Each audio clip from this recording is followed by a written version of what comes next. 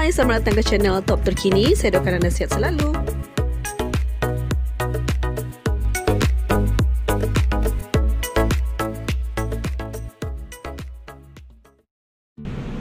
Bekas suami kepada penyanyi Datuk Nora Arifin iaitu Dirusti Ramli memberitahu enggan memberi sebarang komen berhubung kes perceraiannya dengan penyanyi itu.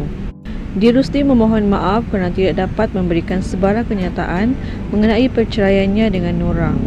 Maaf tidak boleh komen. Disoal sama ada benarkah dakwaan dia dipaksa melafazkan talak terhadap Nora, Rusti memilih tidak menjawabnya. Terdahulu penyanyi berusia 51 tahun itu membuka mulut dan tampil menjelaskan mengenai berita perceraiannya. Menurut Nora, Rusdi tidak bersalah di dalam urusan perpisahan mereka kerana dakwanya hanya mengikut arahan namun tidak didedahkan identiti. Pelantun suara samudra itu telah diceraikan talak satu oleh Rusdi menerusi rakaman video yang telah dimuat naik di Instagram. Terima kasih sudah like, comment and subscribe.